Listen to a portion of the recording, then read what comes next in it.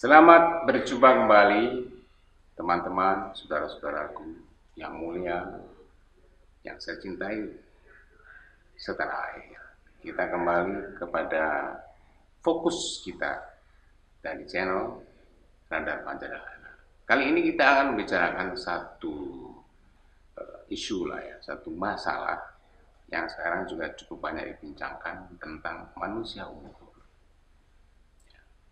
Kenapa kita membutuhkan itu dan yang lain-lain.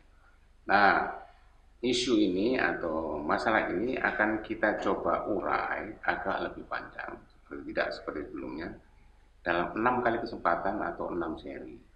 Kita akan kulik sedetil mungkin, sebisa mungkin tentang manusia unggul itu dalam kaitannya dengan realitas kontemporer kita, dalam kaitannya dengan kebudayaan dan peradaban kita, dan bagaimana kita bisa melahirkan manusia-manusia unggul pada tingkat masif sampai nanti pada endingnya di seri ke-6 saya akan mencoba menawarkan bagaimana keunggulan yang Anda miliki itu bisa manifest, bisa mencuat, bisa tereksplorasi, bahkan bisa teraktualisasi pada tingkatan yang optimum.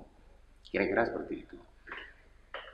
Nah, kita mendengar bahwa program kabinet kita sekarang ini ya, yang dipimpin oleh Bapak Presiden Haji Joko Widodo akan menajamkan atau memfokuskan pembangunannya antara lain yang utama itu adalah pembangunan SDM yaitu SDM yang unggul.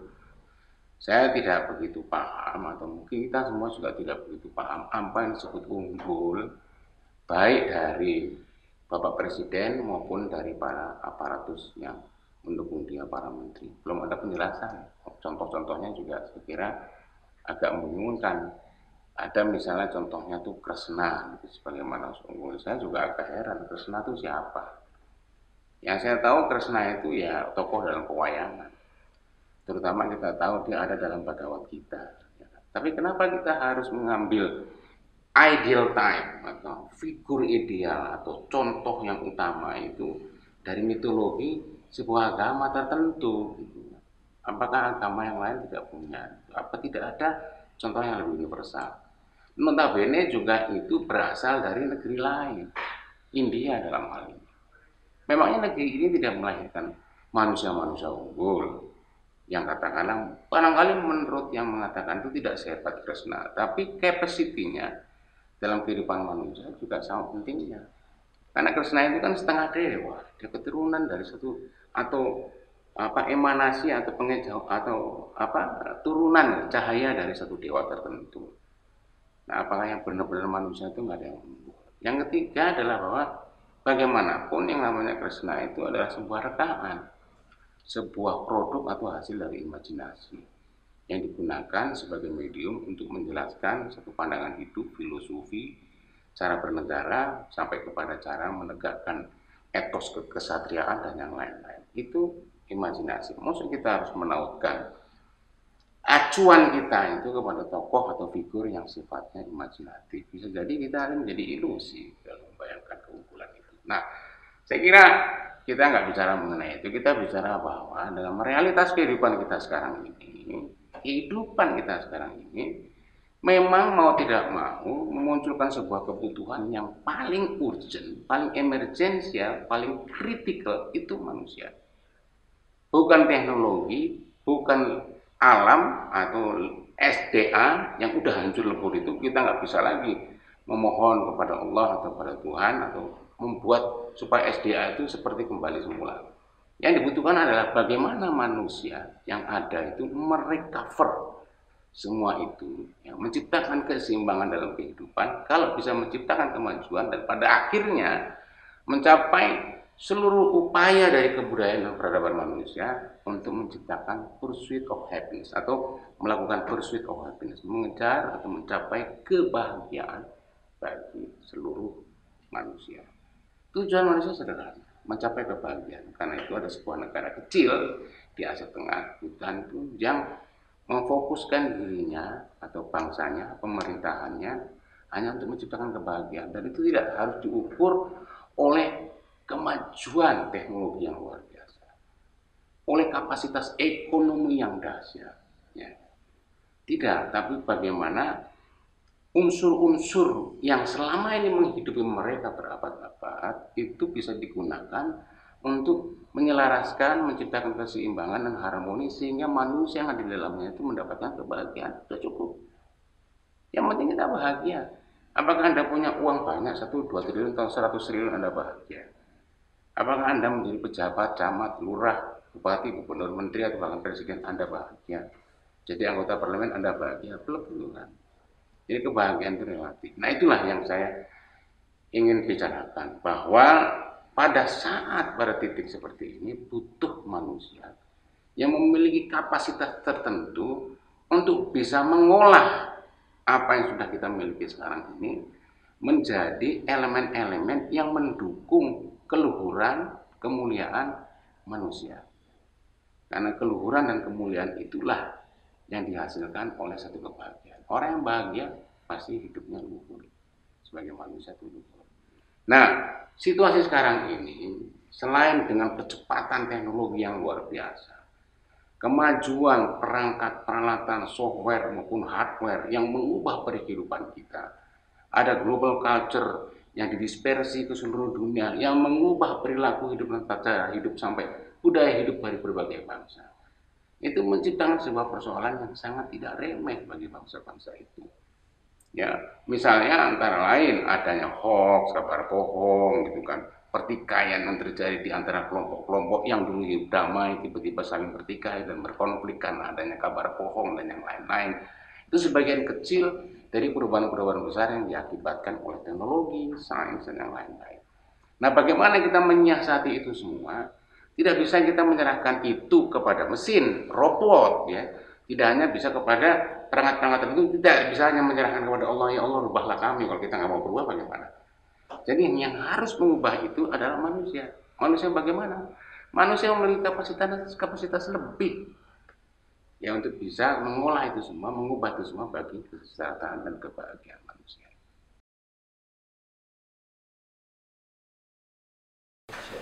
Sebagaimana sejarah mengajarkan kepada kita, perubahan-perubahan besar yang terjadi dalam sejarah peradaban sejarah manusia, itu semua notabene dilakukan oleh manusia. Bukan perangkat, peralatan, teknologi, militer, ekonomi, bukan semua itu manusia. Seorang Alexander Agung, Napoleon Bonaparte, Muhammad Sallallahu Alaihi Wasallam itu semua manusia. Nah sekarang bagaimana caranya? Eh, teknologi yang diciptakan oleh manusia, yang dioperasikan oleh manusia, manusia itu bisa menggunakan atau bagaimana caranya produk-produk itu diabdikan semata-mata untuk menciptakan kebahagiaan. Itu tergantung manusia. Sekarang unggul atau tidak manusia?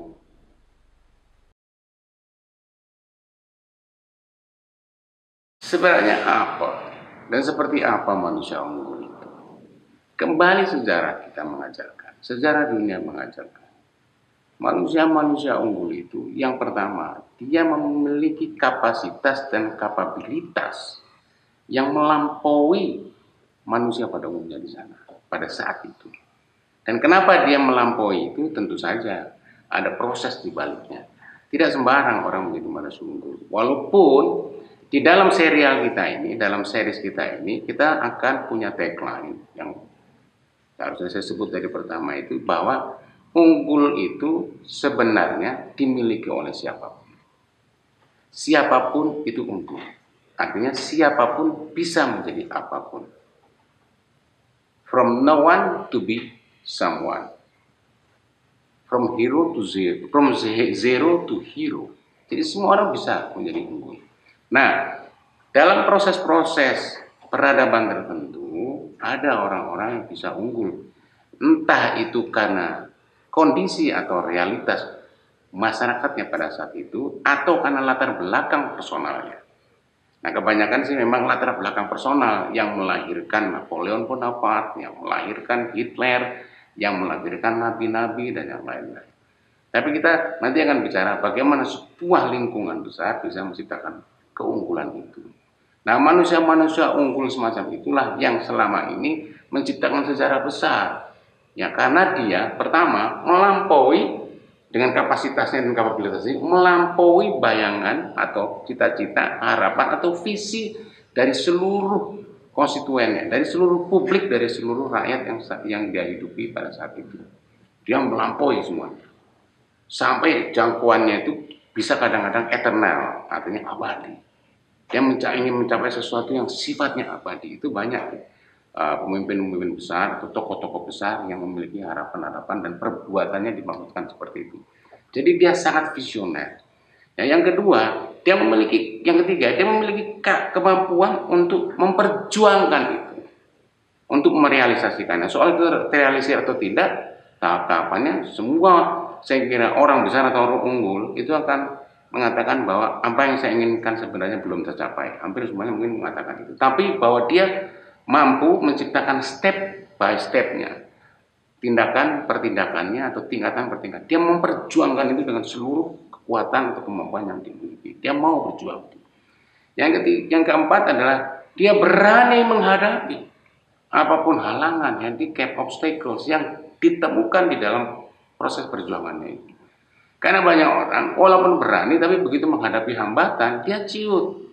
Tidak berani, takut, mundur, bersembunyi, dan akhirnya berubah menjadi seorang yang hipokrit atau yang dan yang lain-lain. Kalau orang ini teguh, kuat, ya kepada dirinya dan kepada cita-citanya, dan selalu orang-orang seperti itu akan mendapatkan pertentangan, dapat resistensi, perlawanan, tapi justru perlawanan dan resistensi itu yang menciptakan semangat lebih tinggi dari dia, menciptakan kekuatan yang lebih hebat di dalam dirinya untuk terus mewujudkan itu sampai dia mati. Nah kita lihat orang-orang seperti itu akan berjuang sampai titik akhir hayatnya, nggak akan pernah berhenti. Ya. Yang kelima ciri-cirinya adalah bahwa apa yang ingin dia perbuat itu sudah pasti dia anggap memiliki kemaslahatan yang masif ke seluruh bangsanya, ke seluruh komunitasnya, kalau perlu ke seluruh dunia. Dia membayangkan seperti itu banyak tokoh-tokoh seperti itu. Jadi tidak sempit tidak hanya untuk dirinya sendiri, keluarganya, atau golongannya sendiri, tapi untuk seluruh umat manusia. Jadi apa yang dia gambarkan atau dia bayangkan dalam visinya itu itu visi yang universal, yang mundial, yang global. Nah itu jadi makanya dia banyak penerimaan, banyak diikuti orang, banyak dipatuhi orang, dan banyak pengikutnya itu karena memang gagasan-gagasannya itu mendasar seperti itu. Dan akhirnya yang terakhir ya kebanyakan, kebanyakan, walaupun mungkin sebagiannya tidak yakin atau tidak percaya, mereka sebenarnya memiliki tingkat spiritualitas yang tinggi. Spiritualitas yang tinggi ini artinya mereka memahami bahwa kerja mereka itu juga ditentukan oleh kekuatan-kekuatan lain yang supranatural. Entah itu apa namanya, the secret itu namanya yang ilahi itu namanya Tuhan, gods apa dengan lain-lain. Mereka percaya itu. Karena mereka tahu oh, manusia tidak bisa melakukan ini semua sendirian. Dia bersama banyak orang dan terutama ketika banyak orang itu mengecewakan dia, dia percaya saya akan masih bisa berjalan karena ada satu kekuatan lain yang terus mendampingi saya. Jadi spiritualitasnya paling sangat tinggi. Nah dari enam ciri itu minimal saya bisa tambahkan yang lain. Bagaimana sebenarnya kondisi keunggulan dari manusia-manusia di Indonesia? Kita lihat di sesi berikutnya.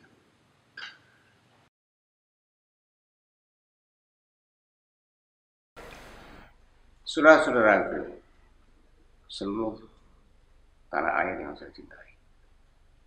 Kalau dunia memiliki manusia-manusia unggul, mulai dari Pythagoras, Empu Yase, Kongfutsu, sampai kepada nabi-nabi, René Descartes, Emmanuel Kant, sampai kepada Albert Einstein atau Stephen Hawking dan yang lain-lain ya.